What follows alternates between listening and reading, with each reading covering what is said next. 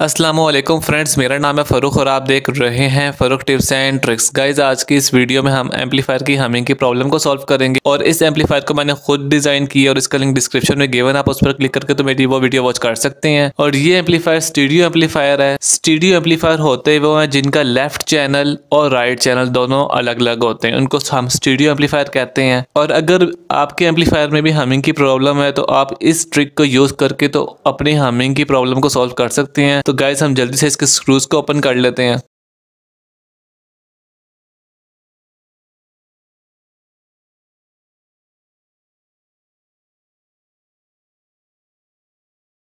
Guys मैंने सारे screws को ओपन कर ली है और अब हम इसके टॉप कवर को रिमूव करेंगे।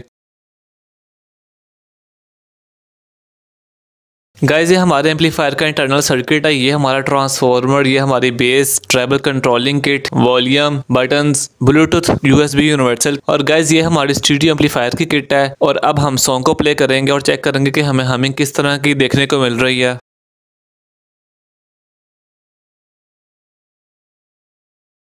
गाइज़ हमने एम्पलीफायर के साथ स्पीकर को कनेक्ट कर दिया और अब हम सॉन्ग को प्ले करने लगे हैं।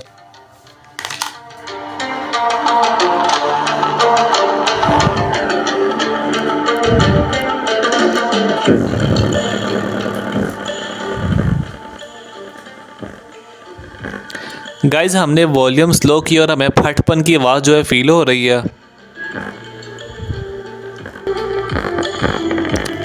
गाइज़ आप क्लियरली देख सकते हैं कि हमारे साउंड में फटपन है।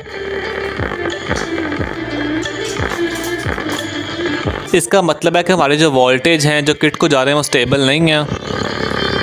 गाइज़ आप इस पॉइंट पर देख सकते हैं कि हमारी जो वायर है, वो कैपेसिटर के एक पॉइंट पर कनेक्टेड है, लेकिन दूसरे पॉइंट पर कनेक्ट नहीं है, ये देख सकते हैं आप। और इस वजह से हमारी जो वोल्टेज है, वो स्टेबल नहीं है, जिसकी वजह से हमारा जो साउंड है, वो फ्लक्चुएट कर रहा है, फटपन आ रही है उसमें। पहले हम वोल्टेज को टेस्ट करेंगे कि साउंड अप्लाई करवाने पर हमारे वोल्टेज अप डाउन हो रहे हैं या नहीं हो रहे, और उसके बाद हम इस वायर को कैपेसिटर के नेगेटिव पॉइंट के साथ सोल्व कर देंगे, और हमारी ये प्रॉब्लम सोल्व हो जाएगी। तो सबसे पहले हम वोल्टेज को टेस्ट कर लेते हैं। गाइज़ अब हम अपने अपने मीटर को वोल्ट पर सेट करेंगे और अब हम इस पॉइंट पर टेस्ट करेंगे कि हमें कितने वोल्टेज देखने को मिल रहे हैं। अभी हमने सॉन्ग को प्ले नहीं करवाया और स्पीकर पर लोड नहीं डाला तो अब हम चेक करेंगे कि हमारे कितने वोल्टेज हैं स्टेबल हैं या अनस्टेबल्ड हैं। नेगेटिव को नेगेटिव के साथ कनेक्ट कर देंगे और पॉजिटिव को पॉजिटिव के साथ। तो गाइज़ यहाँ पर आप देख सकते हैं कि हमें 22.6 वोल्टेज देखने को मिल रहे हैं। अब हम सॉन्ग को प्ले करवाएँगे और टेस्ट करेंगे कि हमारे जो वोल्टेज हैं वो 22 से 23 के दरमियान रहेंगे या फिर कम होकर अनस्टेबल हो जाएँगे।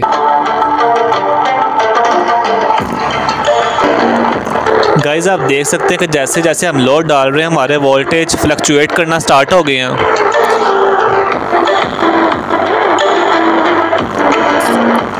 गाइज़ आप देख रहे हैं कि हमारे वोल्टेज अप डाउन हो रहे हैं फ्लक्चुएट कर रहे हैं।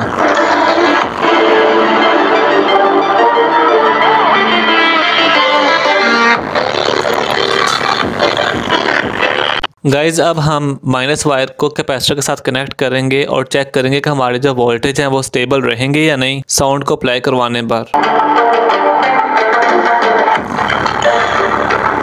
अब हम कैपेसिटर के साथ वायर को कनेक्ट करने लगे हैं।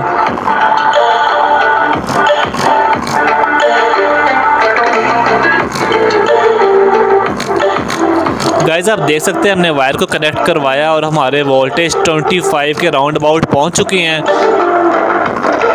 और अब हमारे वोल्टेज अगेन 19 पर आ गए हैं।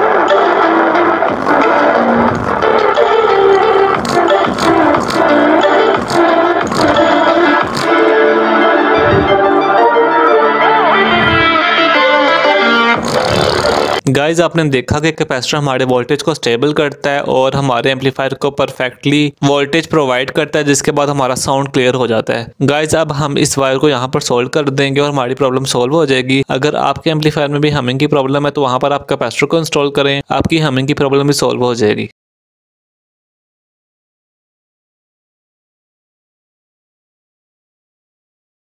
गाइज़ हमने वायर को अच्छी तरह से सोल्ड करवा दी है। और अगर आपके एम्पलीफायर में भी इसी तरह का फॉल्ट है तो आपने एक तो उसको अच्छी तरह से वोल्टेज अप्लाई करवाने उसके अकॉर्डिंगली और, और आपने उसके साथ कैपेसिटर को इंस्टॉल करना जो एम्पलीफायर के बोर्ड के अकॉर्डिंगली हो। सो so गाइज़ आप इस ट्रिक को यूज़ करके अपने एम्पलीफायर की हमिंग की प्रॉब्लम को सॉल्व कर सकते हैं। गाइज़ अब हम सॉन्ग को प्ले करके इसको रिटेस्ट करेंगे।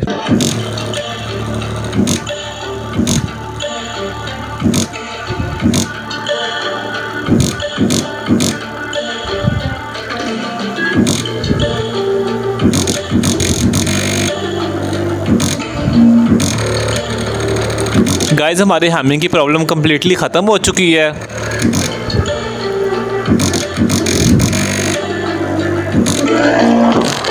गाइज़ हमारे हैमिंग की प्रॉब्लम कम्प्लीटली ख़त्म हो चुकी है और अब हम दोबारा वोल्टेज को टेस्ट करेंगे कि हमारे वोल्टेज स्टेबल हुए या नहीं हुए, लेकिन गारंटीड बात है, हमारे वोल्टेज स्टेबल हो चुके हैं।